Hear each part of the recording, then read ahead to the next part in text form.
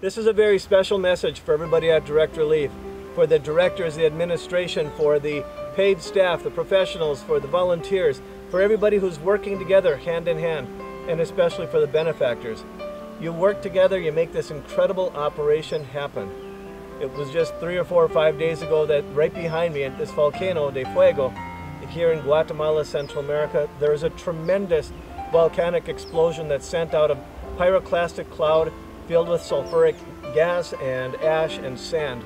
It coated this entire valley of Antigua, Chimaltenango, Acatenango, this entire region. Uh, a number of people became quite sick. It blocked out visibility.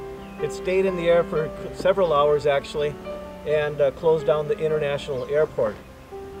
Here in the God's Child Project Nuestros Ahijados, we were able to access a direct relief disaster preparedness kit that had been placed on site at our program. We accessed that immediately and we were able to get out the face masks under the hands of the firemen, the ambulance workers, and the military that came up here to do evacuations.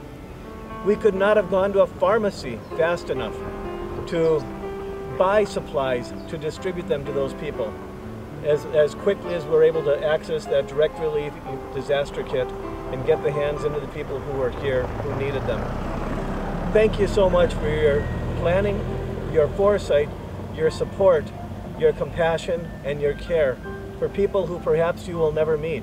There are thousands of them who in the last three or four or five days have benefited because of your aid, because of your work. In name of them, to you, gracias.